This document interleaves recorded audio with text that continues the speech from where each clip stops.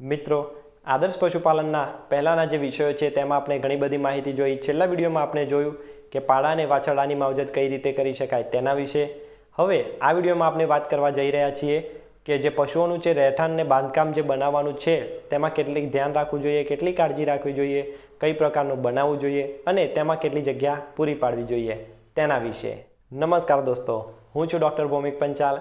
આપ જોઈ રહ્યા છો મારી યુટ્યુબ ચેનલ આજના વિડીયોમાં આપણે વાત કરી રહ્યા છીએ કે પશુઓનું રહેઠાણ બનાવતી વખતે કેટલું ધ્યાન રાખવું જોઈએ, કઈ કઈ બાબતોને મગજમાં રાખવી જોઈએ, કયા પ્રકારની કઈ દિશામાં તે બનાવવું જોઈએ અને કેટલી તેને જગ્યા પૂરી પાડવી જોઈએ તેના વિશે. મિત્રો, જ્યારે તમે તમારા પશુનું રહેઠાણ બનાવો છો તો એવી જગ્યાએ બનાવો કે જે જગ્યાએ પાણીનો નિકાલ યોગ્ય રીતે થઈ શકે, વરસાદનું પાણી જે પડે છે તેનો ભરાવો ના થાય અને મચ્છરોનો અને માખીઓનો ઉપદ્રવ ના થાય, તેવી જગ્યાએ પશુનું રહેઠાણ બનાવવા માટે જગ્યા પસંદ કરવી જોઈએ. પશુનું જે રહેઠાણ બનાવીએ છીએ, ત્યાં હવાની અવરજવર સારી રીતે રહેવી જોઈએ, દુર્ગંધ કે એવી ગંધ મારતી હોય તેવી જગ્યાએ પશુનું રહેઠાણ ક્યારેય ના બનાવવું જોઈએ. મિત્રો, કઈ દિશામાં તેનું રહેઠાણ રાખવું જોઈએ તેના વિશે વાત કરીએ, તો પૂર્વથી લઈને પશ્ચિમ દિશામાં પશુનું રહેઠાણ રાખવું જોઈએ. મિત્રો, કેટલા ચોરસ મીટર જગ્યા રાખવી જોઈએ તેના વિશે વાત કરીએ, તો દરેક પુખ્ત પશુ દીઠ સાડા ચાર ચોરસ મીટર જગ્યા પૂરી પાડવી જોઈએ, જેમાં ત્રણ મીટર લંબાઈ અને દોઢ મીટરની પહોળાઈ આપવી જરૂરી છે. મિત્રો આપણે વાત કરીએ કે દિવાલ, ગટર કે જે તેની ગમાણ બનાવીએ છીએ તે, તો તેના જે ખૂણા છે તે ગોળાકાર બનાવવા જોઈએ. ગોળાકાર બનાવવાનું કારણ એ છે કે જે ખૂણા કે તિરાડો હોય, તો તેની અંદર ઝીંગોળા ઇતરડા કે જે આપણે જુવા કહીએ છીએ, તે ભરાઈ રહ્યા છે ને તેના ઈંડા મૂકે છે ને ત્યાંનો ઉપદ્રવ વધતો હોય છે. ગોળાકાર બનાવવાથી આ વસ્તુને શક્ય બને તેટલી ઓછી કરી શકાય છે. મિત્રો, ગમાણની વાત કરીએ કે કેટલી બનાવવી જોઈએ, તેની સાઇઝ કેટલી હોવી જોઈએ તેના વિશે, તો ગમાણ એક મીટર ઊંચાઈ પર તથા તેની ઊંડાઈ પચીસથી ત્રીસ સેન્ટીમીટરની હોવી જોઈએ. મિત્રો, પશુનું રહેઠાણ બનાવીએ, તેનું ભોંય તળિયું કેવું બનાવવું જોઈએ તેના વિશે માહિતી જોવે, તો પશુનું રહેઠાણનું ભોંય તળિયું સરખું અને તિરાડ વગરનું હોવું જોઈએ. એક બાય સાહીઠનો ઢાળ એ એમાં યોગ્ય રીતે હોવો જોઈએ. પાંચ ફૂટ લંબાઈએ એક ઇંચ જેટલું ભોંય તળિયું નીચું હોવું જોઈએ, જેથી મૂત્રનો નિકાલ તથા સાફ સફાઈના પાણીનો નિકાલ યોગ્ય રીતે થઈ શકે તેના મળમૂત્રનો નિકાલ યોગ્ય રીતે થઈ શકે અને યોગ્ય જે સાફ સફાઈ છે તે આપણે પ્રોપર રીતે રાખી શકીએ. પશુનું રહેઠાણ તો બનાવી દીધું, પણ આજુબાજુની જગ્યામાં આપણે શું શું પગલાં લેવા જોઈએ, શું કરવું જોઈએ તેના વિશે માહિતી આપું. તો ખૂબ જ વાતાવરણ કહેવાય જે ગરમ ચાલીસ સેન્ટીગ્રેડ તાપમાન, તે તે જગ્યાએ પ્રદેશમાં છાંયડા માટે ઝાડુ ગાળવું જોઈએ. છાપરું જો પતરાવાળું કે ધાબાવાળું હોય તો ઉપર ઘાસ કે પરાળના પૂડા નાખી દેવા જોઈએ. બપોરના સમયે પશુને વૃક્ષની છાયામાં રાખવું જોઈએ. શક્ય હોય તો બારથી લઈને બપોરના ત્રણ કલાકના સમયગાળામાં પાણીની છાલક મારીને પશુને ઠંડુ રાખવું જોઈએ અને યોગ્ય સમયસર ગરમ વાતાવરણ હોય ત્યારે પશુને નવડાવવું જોઈએ. શિયાળાની ઋતુમાં આપણે આપણા પશુને કઈ રીતે સાચવવું જોઈએ તેના વિશે માહિતી લઈએ.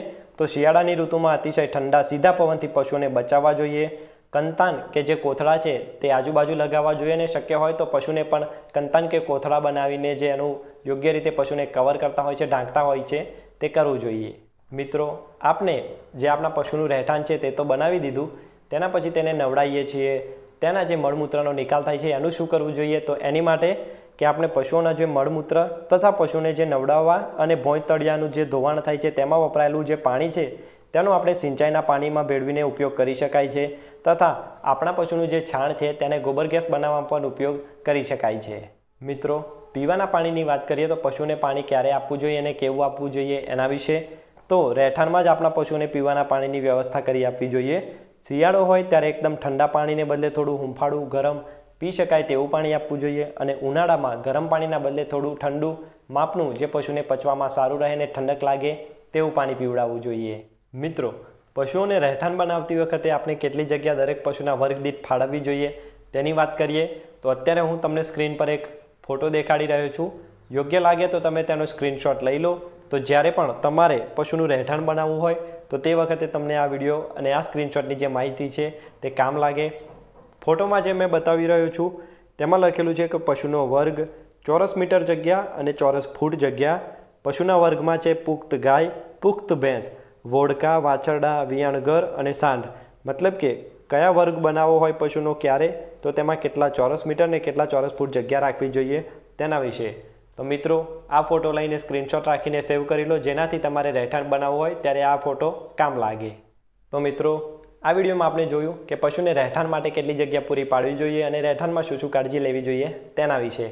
મિત્રો, વીડિયો સારો લાગ્યો હોય તો એક લાઇક જરૂર કરી દેજો. નવા છો તો ચેનલને સબસ્ક્રાઇબ કરજો કે જેનાથી આવા જ દરેક માહિતી પૂરી પાડતા નવા વીડિયો તમને જોવા મળે.